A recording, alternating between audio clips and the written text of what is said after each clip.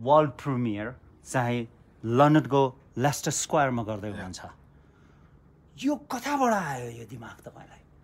अब यो चाहिँ नि मैले बिस वर्ष अगाडि देखेको सपना हो। जब कि त्यो बेलामा त्यो एरियामा डुल्दाखेरि चाहिँ मैले एकजना सिल्पिङ ब्यागमा चाहिँ क्यामेरा बोकेर सुतिरहेको मान्छे देखेँ। मैले गएर सोधेँ के को लागि? भन्दाखेरि यहाँ प्रिमियर हुँदैछ वर्ल्ड प्रिमियर हलिउड मुभी। मेरो ठाउँलाई चाहिँ मैले ओगटेर बसेको। दुई तिन दिन अगाडिदेखि हेर्नुहोस् त। त्यो देखिसके पछाडि नेपाली सिनेमालाई त्यहाँ लाने मेरो ठुलो इच्छा रह्यो। मेरो पहिलो फिल्मलाई यहाँनिर रेड कार्पेट गर्ने मेरो ठुलो इच्छा थियो तर त्यो सपना मेरो तुहियो बहुत दुःखी भयो। तर कुनै न कुनै दिन चाहिँ नि मेरो आउला त्यो दिन। भन्दाखेरि आज चाहिँ नि सपना देखेको बिस वर्ष अगाडि दस वर्ष अगाडि ट्राई गरेँ भएन। अनि एट द एन्ड बिस वर्षमा आएर चाहिँ चाहिँ त्यो सपना साकार हुँदैछ।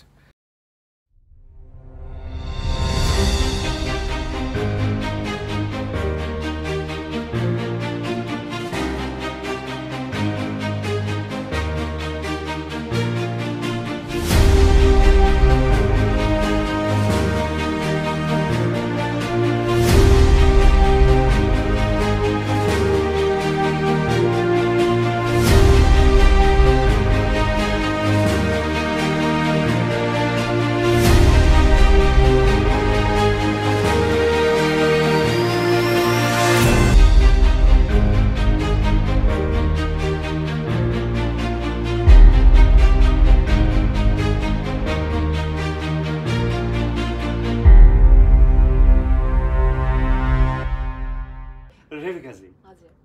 तपाईँले गोर्खा वरियर चाहिँ कसरी पाउनुभयो यो छोटो कथा सुनाउनुहोस् न। किन किन तपाईँ?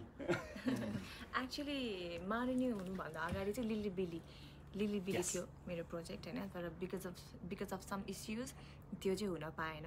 सो मेरो डेब्युट मुभी चाहिँ मारुनी हुन पुग्यो। सो मिलन दाले मलाई पहिलेदेखि चिन्छेको थियो अनि उहाँलाई थाहा थियो। मैले अब हुन्छ नि के गर्न सक्छु के गर्न सक्दिनँ भनेर यो क्यारेक्टरको लागि पनि अडिसन्सहरू मलाई थाहा नभए नभए पनि धेरै अडिसन्सहरू लिइरहनु भएको रहेछ।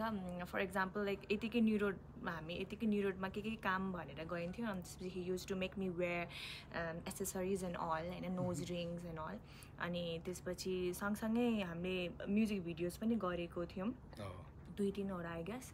म्युजिक भिडियोज पनि गरेको थियौँ अनि त्यसमा like camera angles my everything body language each and everything मेरो चाहिँ मलाई थाहै थिएन कि मेरो अडिसन भइरहेछ भनेर गोर्खा वायर वारियरको क्यारेक्टर क्यारेक्टरको लागि so. Yeah that's how I got the movie